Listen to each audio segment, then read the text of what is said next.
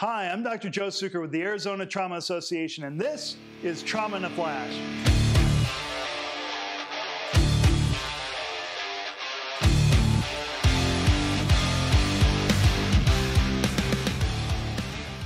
Cardiac injuries occur in about 6.4% of penetrating chest injuries, and 80 to 90% of these patients die before ever reaching the hospital.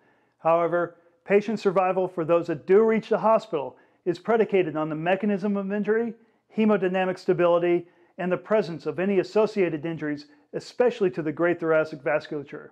In this episode, I present a case of penetrating cardiac injury from a stab wound to the anterior chest wall. On arrival, he was hemodynamically normal with a single wound to the upper left chest. His respirations were clear and equal, with normal oxygen saturation on room air. His heart sounds were normal, with normal appearing neck veins. Note that the injury is located in what is termed the cardiac box. This area is bound superior by the clavicles, lateral by the nipple line, and inferior by the xiphoid process.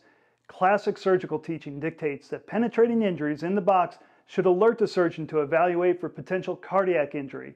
In this case, the patient underwent an initial chest x-ray which did not reveal any evidence of pneumothorax.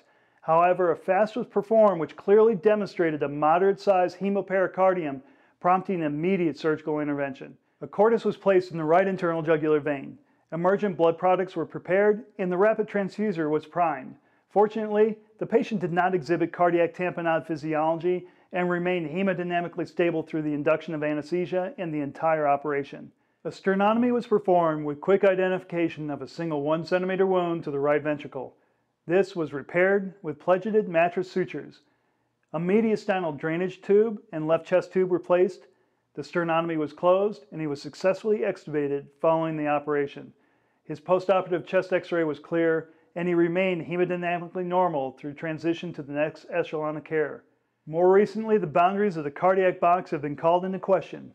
In a 2016 article published in the Journal of Trauma and Acute Care Surgery, Dr. Morris showed that there was an equal incidence of penetrating injury to the heart from gunshot wounds that entered the lateral aspect of the left chest as compared to the classic boundaries of the cardiac box.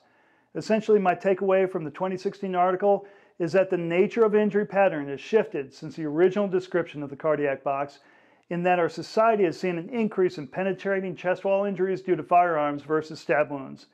I think a little common sense dictates that high velocity projectiles can certainly travel long distances through the body, and therefore the surgeon should always maintain a high level of suspicion for possible cardiac injury with any gunshot wound to the chest wall. Thank you for watching this week's episode of Trauma in a Flash.